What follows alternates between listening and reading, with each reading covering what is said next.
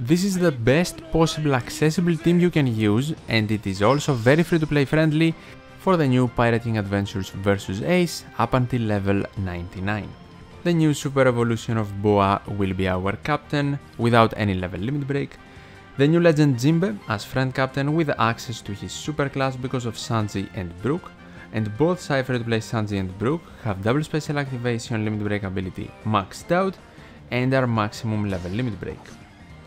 Then we just use the super evolutions of Pirate King Adventures Mihawk and Arlong. And some things you need to have in mind for this team it is definitely preferable to have Sanji in the middle row under your friend Captain Jinbe, and it is also very helpful to have Q Legend Luffy support on our Brook, because he can help us make the Psy slots that Boa can provide with her super type matching in stage 4.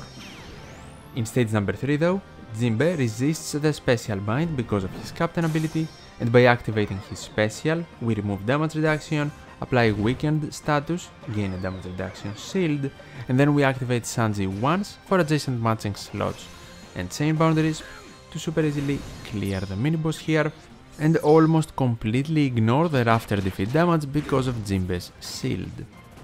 Time now for stage 4. Special Rewind will be present, a chain debuff for the remainder of the quest, the two back row enemies will gain resilience and everyone will gain a damage reduction shield. Even intimidation is present to reduce orb boosting by one turn, but it will be absolutely fine, we don't really need to deal with that. First thing we are going to do is activate 5 plus PKA Mihawk to remove damage reduction, help us regain our specials, and get an orb boost that can survive through intimidation. Then we activate Brook once to deal with the back row mobs later on maybe just with their resilience and Luffy will activate making Psy slots beneficial for everyone. And now we want to activate the special and also super type of Boa Hancock for a chain boost and an attack boost on our Psy units for the remainder of the quest and the full board of matching slots because of Luffy. Now we can attack and super easily defeat the enemy but also the back row mobs if they survive Brook's damage.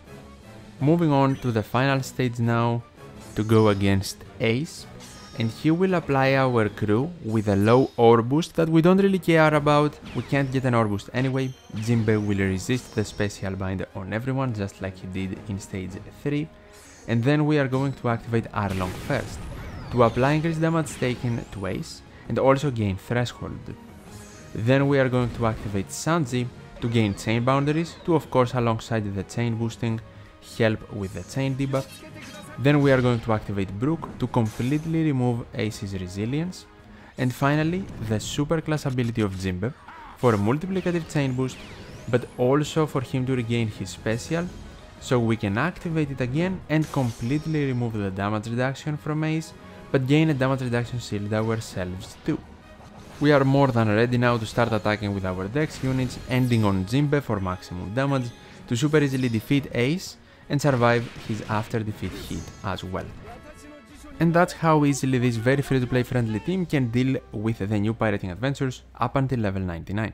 Hopefully you found the video helpful, if you did definitely leave a like, I would really appreciate it, and as always, thank you so much for watching, take care, and I'll see you in the next one.